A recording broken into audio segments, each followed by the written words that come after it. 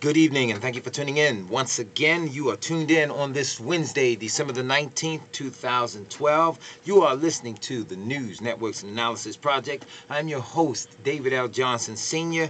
Welcome aboard again. As always, good to be back here live in the studio, able to bring forth the best of the data, the analysis, the information as we try to present it to the community in a way where everybody understands it. Though some of the issues may appear to be above us in certain situations, we still try to break things down into a language that makes it intellectually digestible even unto our babies.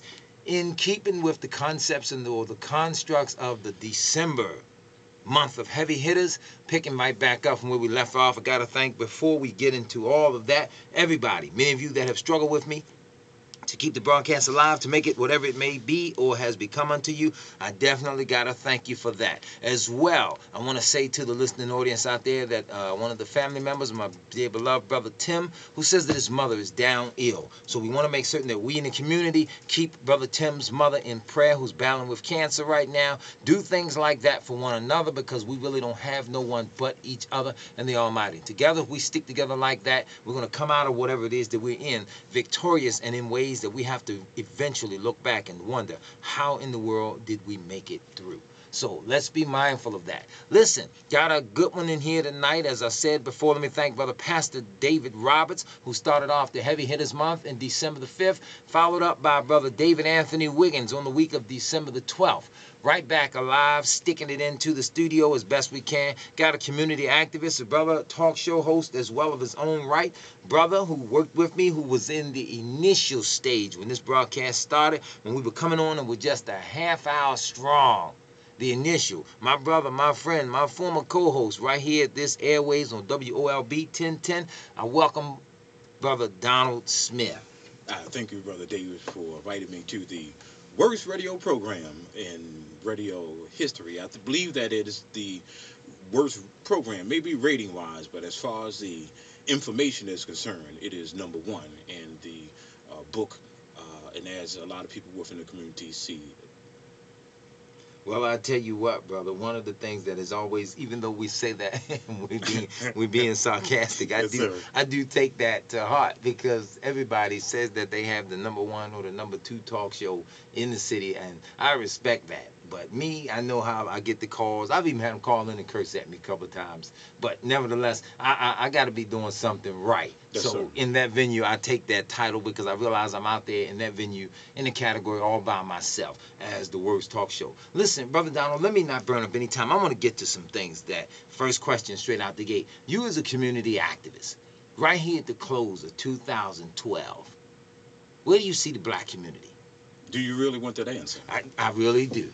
Well, I'm gonna tell you, as far as my perspective is concerned, as far as uh, our people is concerned, it don't look too good. Don't look too bright.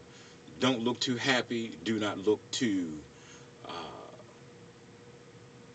I'm trying to find the term for it because it's difficult to try to put it in some kind of context that our people have seemed to lost their minds, all sense of bearing, all the have lost their foundation, their footing, that we are falling victim to anyone who comes along singing a happy tune uh, to us, and we're just going back, not going forward. Even though you know we hear the message of moving forward. Before it was change, and it was hope, and we was hoping for some change, and it never came about. So our people are disillusioned and uh, at this particular time, we are just lost in the sauce in a ball of confusion. Okay, and and with that, I know how most of the people hit me. They they all seem to ask me that, and I, and I kind of take of offense to it, but nevertheless, I'll ask you in the same manner. People ask me all the time, "What's the solution?" And I always say, before somebody can just soundbite you a solution, you have to at least understand the depth of the problem because I know that in the black community sometimes some of us we have jobs Mhm. or positions in society or ideologies or outlooks Mhm. that are actually part of the problem Correct. that we've inherited from others and these are the same ones that tend to want to know what is the solution how do you deal with people like that Well, you know, if you got a job, you in trouble. that be that's because since you have a job, you depend on someone else to feed you. You, you depend on someone else to provide you for the basic necessities of life. Who has your life in their hands? Uh, You're not going to buck too hard. You're not going to uh, uh, do the things and say the things that are necessary. We want easy. We want solutions, but we will not take and really analyze the situation, or the problem, or whatever's before us. We just want to solution, solution, solution, without you know doing the homework that's necessary to be able to get us uh, a better understanding of where we are today and where we need to move in the uh, future. So it's not just easily a, one uh, so simplistic that you could come up with a, a solution to what's ailing us. What's ailing us, we don't even want to have a discussion about in the black community. which is an interesting point. Let me let me switch it, switch the topic and up the tempo just a little bit. I'm gonna give the background of something. Go ahead. The school shooting which occurred Friday. Now, the uh, published reports say that the gunman was wearing dark clothing, a mask, a bulletproof vest, and carrying four guns. hmm But the sympathy venues are saying that this was a young man that had mental health issues or was a retarded person. I've never read in the history of America or shootings and things of that nature where young people were retarded hmm but went out and just maliciously killed 27 people. What were your views on that?